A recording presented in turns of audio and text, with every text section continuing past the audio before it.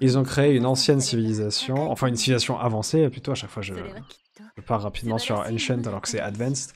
Euh, ils ont créé une civilisation avancée basée, euh, basant leur vie euh, sur des outils qui améliorent leur confort, tout comme ce petit cristal. tout avait l'air magnifique, du moins à la surface. Bon, ça, on vient de le dire. Hein. Ça, c'est le moment où le mec est super excité de, voir comment un mec du premier arrondissement vit et de voir qu'il n'y a pas toutes les préoccupations de survie qu'il peut y avoir dans d'autres arrondissements.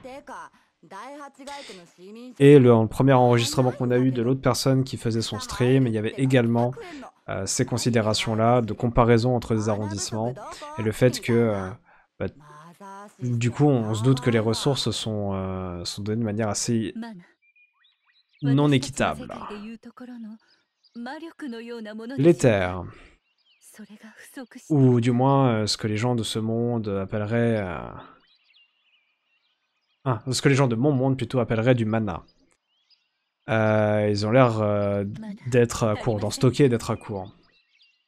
Mais j'ai euh, encore besoin de... Enfin, ça a l'air d'être rationné. Enfin, des rations, comme à la guerre. mais j'ai besoin de plus d'informations. S'il vous plaît, guidez-moi à la prochaine localisation. Comment s'adresse ce truc, quoi Oh, appareil de sorcier. Appareil magique. Recherche complétée, veuillez bouger, par là-bas. Très bien, je, vais aller par là. Le respect des risques. Hein. Pour tout ce qui existe à travers ce monde, un respect sans borne. Chapitre 7. Le... Euh, Demise. Demise, je le sais, Demise en plus, c'est terrible. Je veux pas forcément le vrai mot, mais... Euh, le champ lexical. Demise, c'est quoi? Euh, C'est le moment où tout s'effondre. Le décès, le trépas, la disparition, la mort. Ça va, j'espère que c'est clair. La chute, la fin, la disparition. Voilà. Donc la chute du passé.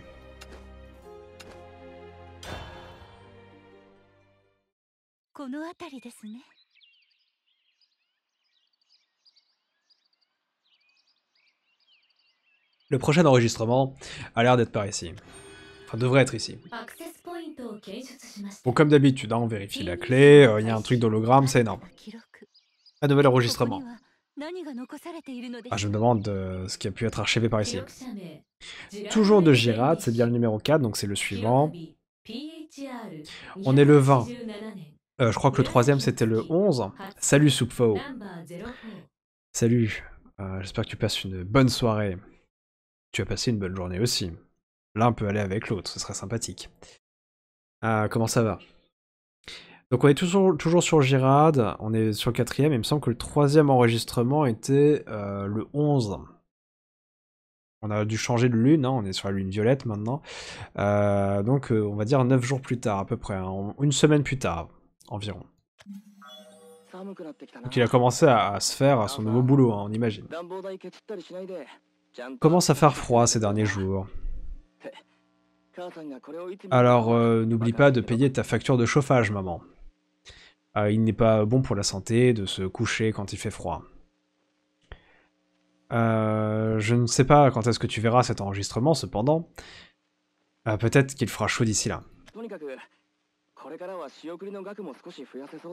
À partir de maintenant, je devrais pouvoir t'envoyer un petit peu plus de crédits tous les mois. Oh là là, il est sympa lui, hein. il envoie des crédits à sa maman adorée. J'ai également...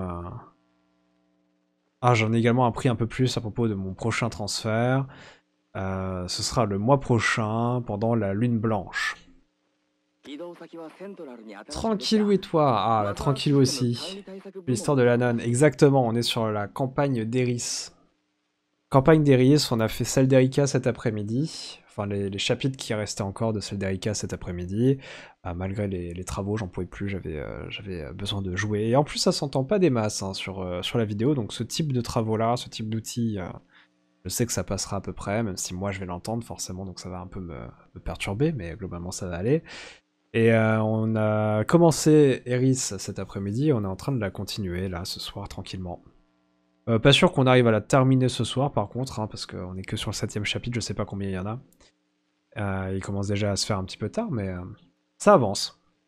Et j'ai un nouveau deck avec Eris basé sur du gain de vie, qui a l'air de plutôt pas mal marcher. J'avais eu un petit peu de soucis avec mon, mon premier deck contre Ludica dans le deuxième épisode. Euh, alors je vais rejoindre ah le fameux mécanisme Virgo, les opérations du Virgo. Alors il va rejoindre l'équipe des opérations du mécanisme Virgo. Voilà, rien que ça. Ah, ils viennent de s'établir ici à Centralis. Ah tu compatis, merci. Ah et nous on a des là bah, c'est simple, on a une énorme bâche qui a été mise, euh, enfin une bâche, de mélange moustiquaire tissu un peu chelou là, euh, comme une bâche qui a été mise devant tout le bâtiment, il y a un ravalement de, façade. On a un balcon, on a les travaux qui sont directement sur le balcon en plus d'être devant le bâtiment. Et euh, visiblement, d'après le gardien, ça va durer un an parce qu'il y a quatre façades à faire, trois mois par façade. Donc euh, ouais, ça, ça va pas mal de temps. C'est pas toute la journée. Euh, c'est tombé en même temps que mes vacances, donc ça c'est un peu dommage. Le début des travaux en même temps que le début de mes vacances. Mais euh, à côté de ça, euh, disons qu'on se fait réveiller assez tôt le matin par, par les bruits qui sont pas forcément les plus sympathiques. Et l'appartement est pas vraiment le, le mieux. Un niveau isolation, il est assez dégueulasse. Donc bon, on va faire avec et puis on verra bien.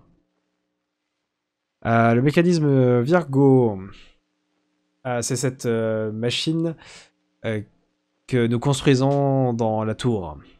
Celle qui produit les terres. Ah, voilà, donc c'est très important. Ah, tu en as entendu parler, pas vrai, maman Je suis coincé entre un commissariat et une caserne de pompiers. Ah Et dans une rue très passante. Ah euh, J'espère que tu as du double vitrage, du coup. Et que tu n'as pas de coffrage interne. Nous, c'est les deux gros soucis qu'on a.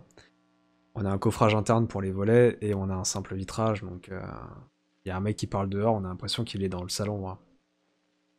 Le ravalement, tu l'as eu il y a deux ans. Donc pour toi, c'est fait. C'est déjà bien. Félicitations d'avoir survécu à cette épreuve. ah, J'espère du coup que ouais, niveau isolation sonore, euh, ça va parce que, ouais, en effet, euh, tu dois avoir du bruit. Bon, après, euh, au moins, s'il y a le feu, tu vois, t'as la caserne à côté. Ça, ça, c'est un avantage qu'on ne souhaite pas, mais c'est un avantage qui existe. Euh, donc le mécanisme Virgo, qui du coup est très important, parce que l'éther régit beaucoup de choses, c'est la ressource principale visiblement. Euh, S'ils ont besoin de cet outillage pour produire de la mana, alors... Euh, alors est-ce que ce, rationnage, ce rationnage, ce rationnement de mana est dû à une espèce d'échec? Une espèce d'erreur. Double vitrage pour une des deux fenêtres, mais vieil immeuble, très mal isolé. Ah, pas terrible. Pas terrible. C'est déjà bien d'avoir une vitre, mais... Euh, dommage. Surtout quand t'es à côté d'un commissariat d'une caserne de pompiers. Hein. Compliqué. C'est vrai, c'est le problème des, immeubles. Même des immeubles qui ont genre 40-50 euh, ans, entre guillemets seulement, euh, pas ouf. Euh, bon, c'est un poste important, euh, d'après ce qu'ils disent.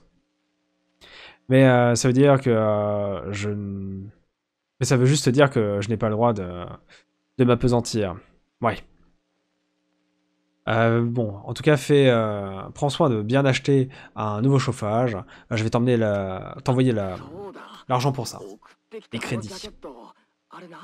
Ah, j'ai presque oublié. Euh, cette veste que tu m'as envoyée, euh, elle est vraiment très flashy. Ah, tu veux vraiment que je porte euh, ça lorsque je vais dans un, rendez-vous avec Yulika, hein, n'est-ce pas? C'est pas tombé dans l'oreille d'un sourd. Elle a vraiment oublié de couper cette partie de l'enregistrement, quoi. Ah, je t'aime, mais sérieusement, occupe-toi de tes affaires. on a mangé ensemble hier midi. Non, pas du tout hier midi. On a mangé ensemble euh, le midi. Euh, et euh, c'est très bien pour le moment. Alors, n'expecte. alors, n'attends pas grand chose. voilà, c'est tout. fin de l'enregistrement. Le mec s'est à nouveau énervé tout seul. bon, et puis, et puis voilà, c'est tout. C'est comme quand t'es au téléphone. Ah, et c'est tout. Allez, je raccroche. J'en ai marre. Euh, voilà, un nouveau, un nouveau voyage dans le passé de compléter. Oh, miraculeux, miraculeux outillage. Euh, Peux-tu me guider vers la nouvelle localisation? Mon immeuble date de la fin du 19e siècle. Ouf. Ouf. Ouf, l'insonorisation entre les appartements doit pas non plus être géniale. Enfin bon, ça veut pas dire grand chose, hein, une chance sur deux on va dire, mais euh, ouf. Euh, commande vocale acceptée, recherche euh, d'autres enregistrements de Girad Elvindish, veuillez patienter. Alors on a trouvé un truc, euh, commencez à jouer. Ah, on a trouvé immédiatement ici. Ah, on a trouvé trois... Ah Point d'accès détecté, trois fichiers restants de Girad Elvindish. Commencez euh, la lecture. Pardon.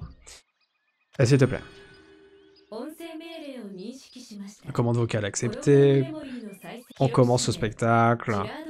Numéro 5, alors on est dans la lune violette. Le 28, j'ai oublié la date de l'autre, mais je crois que c'est à peu près 6 jours plus tard, un truc comme ça. 5-6 jours plus tard. Aujourd'hui est mon premier jour, le premier jour où j'ai eu l'occasion de voir le mécanisme Virgo euh, de mes propres yeux. C'était tellement étrange. Euh, ça ressemblait à une femme. Une femme vivante. Ah, je pensais que peut-être l'un de mes collègues euh, avait mis un costume pour euh, me... Vous savez, le problème sur les premiers jours, là. Euh, les journées d'intégration, là, qu'est-ce qu'on fait? On boulie, là, je sais plus comment on dit. Enfin bref, pour, pour me faire une blague. mais ce n'était pas le cas. Encore une fois, on a envie de penser que si le système ressemble à une femme, mais que c'est une machine, on a envie de penser à, Mono, à euh, Tetra et tout ça.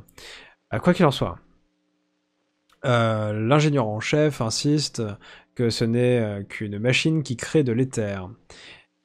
Et après tout, qui sait? Peut-être que je me fais juste des idées. En vie Même si c'était une machine ah oui, c'est vrai.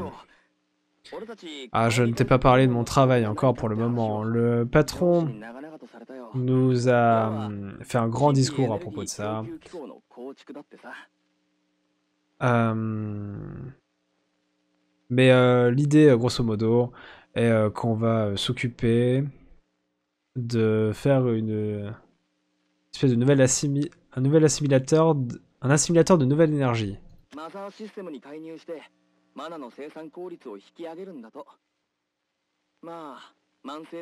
Alors, une fois qu'on l'aura connecté au mécanisme Virgo, elle, enfin je veux dire, euh, ce mécanisme euh, va complètement exploser niveau euh, production d'éther. On va crever le plafond, comme on dit. ça devrait permettre de passer outre le rationnement de, de l'éther, tu vois. ça devrait également nous aider à euh, outrepasser les désastres naturels et euh, les soucis de nourriture. Entre les appartements, l'insonorisation est inexistante, les murs sont creux. Ah Ah C'est dégueulasse Nous, euh, ça va, on, entend un peu, surtout dessus, mais ça va. Ça pourrait être pire. Euh, les euh, gens en haut de la hiérarchie euh, nous disent Hein? Will be just... Ah, que, tout va devenir comme ces jours où le mécanisme Virgo était appelé Viridia Magna. Par contre, dans le monde de Belphomet, il n'y a rien qui s'appelle Viridia Magna, à ma connaissance. J'ai entendu un petit peu de leur plan. Euh... Mais... Euh... Enfin... J'entends un petit peu de leur plan, euh, mais ces changements me paraissent un petit peu extrêmes, si tu me demandes. Viridia Magna. Viridia Magna a designé, enfin conçu ce monde, l'a peuplé avec de la vie, bref. On connaît maintenant. C'est à l'origine, Viridia Magna, dans le folklore, est à l'origine de ce monde et de toute vie qui existe. Alors, cet euh, engin qui produit de l'éther, ce mécanisme Virgo, est en vérité Viridia Magna. Ah, J'imagine que euh, ça veut dire que les, les choses vont commencer à aller pour le mieux et euh, que tout le monde va... Ah, pour le mieux pour toi et à tout le monde à la maison. Ah mince mince, euh, maman, Yolika m'appelle. Ah pourquoi maintenant? Ah désolé maman, je t'enverrai un holo plus tard.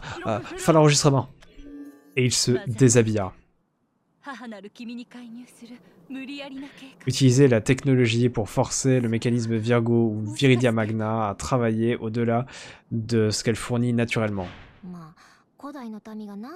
Ah, les anciens ont énervé euh, Viridia Magna, c'est comme ça que euh, l'histoire euh, va. Est-ce que ce serait la raison pour laquelle elle a détruit ce monde? Ah oh Engin empli de sorcellerie Libère le prochain enregistrement. On commence. Euh, Girad Elvindish, sixième enregistrement. On est le 17 de la lune blanche. Bon, impossible de savoir le nombre de jours là, hein. je connais pas leur mois. Toujours la même année en tout cas. ouais, sa femme a l'air lui faire un peu peur, mais en même temps, il était encore en relation. Euh, je pense qu'il n'en était pas encore au stade où il l'a présenté à sa mère, tu vois. il était encore en relation en mode. euh, Ils se connaissent, ils sont avant tout euh, collègues, quoi. Ils sont avant tout collègues, mais ils commencent à sortir ensemble, à venir, euh, à s'appeler, peut-être venir l'un chez l'autre de temps en temps, tu vois. Mais du coup, t'as pas envie, t'as envie de, décrocher tout de suite, de faire ouais, je suis un mec cool, quoi, pas de soucis. Maman, le développement de l'assimilateur se déroule bien, de manière superbe. Euh, nous avons un nouveau gérant de projet euh, qui nous aide. Euh, il a apparemment des compétences complètement folles en termes d'ingénierie avec les Magitech. Je ne pourrais, je n'aurai jamais l'occasion de bosser avec lui, mais je peux tout de même voir à quel point ses compétences de chef euh, sont efficaces. À ce rythme, on devrait pouvoir euh, réussir à faire tourner l'assimilateur le mois prochain. C'est juste que, euh, maman, euh, je me sens bizarre à propos de tout ça. Est-ce qu'on devrait vraiment faire n'importe quoi avec le mécanisme Virgo euh, comme ça? Alors, je ne peux pas m'empêcher d'avoir quelques doutes, tu sais. Euh, tout le monde continue de dire que euh, c'est juste euh, une pièce euh, débile de Magitech. Mais quand tu regardes dans ses yeux, enfin les, yeux de cette chose, tu peux pas t'empêcher de penser qu'il y a de l'émotion derrière derrière eux. Mais j'imagine qu'il va falloir qu'on continue d'essayer. Une fois que ce sera installé et en fonctionnement, tout ça vaudra le coup. Imagine euh, les bonus qu'on va recevoir, ou que je vais recevoir. Euh, ce sera euh, bien plus que ce qu'un pauvre petit technicien peut rêver. Et euh, Yulika, elle veut voir les étoiles. Pas celles euh, qu'on fait avec des projecteurs, les vraies, celles dans le ciel. Mais euh, une tour d'observatoire coûte très cher.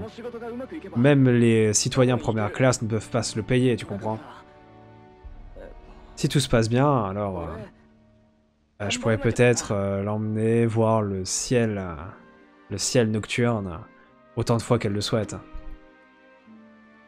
C'est tout pour le moment, j'imagine. Euh, prends soin de toi, ok? Fin de l'enregistrement. Ah, ça sent pas bon, hein. Ça sent pas bon. Moi, ce qui me fait vraiment peur là, bon, là, on sait que pour eux, ça va être l'apocalypse, ça va être dégueulasse, mais ce qui me fait vraiment peur, c'est qu'à un moment donné, on apprenne que euh, Jeannette euh, Magna, là, ce soit euh, l'un des personnages pour lesquels on a nourri euh, une certaine affection dans le monde de Tetra, quoi. Genre que ce soit Tetra, Mono ou celle qui fait de la, création, justement, celle qui a fait tout rond et tout ça. Je sais plus comment elle s'appelle, mais la copine de Luna. Je parierais sur elle, mais euh, ça me fait peur. Ça me fait peur cette histoire. Les projecteurs, c'est le futuroscope. Euh, bon, l'enregistrement final maintenant. Euh, si tu veux bien, oh, engin. C'est parti, Gérard Elvindich, 8 enregistrement, la lune blanche, le 17 e du mois. Numéro 8. Mais celui d'avant était numéro 6. Ah, on en a loupé un. Forcément. Sauf qu'on a encore des choses à apprendre. Ah bon sang, bon sang. Histoire qu'on puisse encore nous balancer un gros plot twist dans la gueule euh, par la suite. Ah, on n'aurait pas dû faire ça. On n'aurait pas dû euh, l'embêter. Tellement de peur. Ah, on, est cuit. Ah maman, Yulika. On est complètement cuit. Ah, c'est ce qui se passe ensuite. Ce monde, Natera. Tout est fini. Non, il l'appelle déjà Natera, là, à ce moment-là, hein, donc euh, on sait pas. L'heure de la dévastation. C'est trop tard. On n'aurait pas dû modifier le mécanisme Virgo. On avait tort. On avait tellement, tellement tort. Ah, si seulement j'avais dit quelque chose plus tôt. Je suis désolé. Je peux pas pouvoir te montrer les étoiles, Yulika. Je suis désolé de, ne pas t'avoir donné une meilleure vie, maman. Je suis tellement désolé, maman. Tellement désolé. Je t'aime. Je, sais que le signal est fini, euh, qu'il n'en voit plus, mais j'espère que ce message va t'atteindre d'une manière ou d'une autre. Peut-être que si tu trouves un refuge et que tu te caches, les derniers moments sont cruciaux. S'il te plaît, euh, oh, euh, divin appareil, euh, continue la fantasmagoria. hologramme endommagé, désolé, on peut pas faire mieux. Alors, le, le septième enregistrement, s'il te plaît, cherche-le. commande vocale acceptée, on recherche le septième enregistrement. Aucune data, aucune donnée trouvée. Quoi? Alors, voilà ce qu'il reste de l'histoire de Natera. Il y a peut-être pas que euh, Jean-Claude là qui a fait des vidéos, non? On peut peut-être en trouver d'autres. Un autre auteur qu'on arrivera à comprendre aussi. C'est un terrible destin hein, qui euh, t'attendait et que tu ne méritais pas, Girard. Ah, je vais porter tes espoirs et regarder les étoiles hein, pour euh, Yulika et pour toi. Terrible. Twist, vu que maintenant ils vivent euh, en pagne dans la forêt, on se doute que ça forêt à un moment ou à un autre. Oui, voilà, mais moi, le plot twist que j'attends là, c'est que dans le septième, euh, dans le septième enregistrement, euh, ils nous disent, si tant est qu'on finit par trouver un septième enregistrement, hein, qu'ils nous disent, oui, bah finalement, Magna a commencé à nous parler et euh, elle nous a dit qu'elle s'appelait euh, Blabla et Blabla ce serait un personnage qui est dans euh, Steel Rebellion, dans la campagne euh, de la ville mécanique. Ça, c'est le plot twist euh, que j'attends. euh. Peut-être que je fais totalement fausse, route, hein, mais euh, je me dis, euh, peut-être se prendre ça dans la gueule à un moment donné euh, dans les conclusions. Est-ce que, euh, est-ce que quelqu'un sait combien il y a de chapitres euh, dans cette campagne, hein, si c'est le dernier ou pas? Enfin, L'avant-dernier du coup, parce que le dernier, je pense que c'est un d'autres cartes qu'on va gagner. Que je sache si on tente euh, ce soir ou sinon tant pis, on fera ça demain. Euh, ça s'appelle comment déjà? Débilos. Seeds of Conflict. Il y a 11 chapitres. Ok, merci pour l'info. On ne va pas faire ça ce soir. Parce que du coup, on à 8, 9, 10, 11, 4 chapitres encore. Ça va, nous occuper au moins, je pense, 1 heure, 1 heure 15. Je vous propose qu'on fasse ça plutôt, euh, plutôt demain. Histoire qu'on finisse ça tranquillement, à notre rythme. En toute sérénité. Euh, en tout cas, depuis qu'on est sur le nouveau deck, les combats sont assez chauds, mais ça passe. Ça se passe plutôt bien. On s'en sort. J'ose imaginer que le combat à 110 balles va être plutôt dur, mais euh, on s'en sortira peut-être, sans doute. Donc on continuera et probablement finira la campagne d'Eris, la campagne ecclésiastique, demain. Et par extension, la dernière histoire qu'il reste dans ce Seeds of Conflict avant d'arriver. Allez, filer les récompenses, c'est la fête. Avant d'arriver euh, à la campagne conclusion qui n'est pas encore sortie. Et on la fera bien sûr quand elle sortira. Beaucoup trop intéressant pour qu'on on s'arrête là. Allez, filez-moi mes 20 balles. On en est à combien? Parce que mine de rien, on gagne quand même pas mal de thunes avec la, la campagne. Un peu d'argent de poche. On a un booster. On va ouvrir le booster avant de se quitter aussi, bien sûr. Pour la VOD, en tout cas, on se fait des bisous. Et on se donne rendez-vous à la prochaine session. Bye.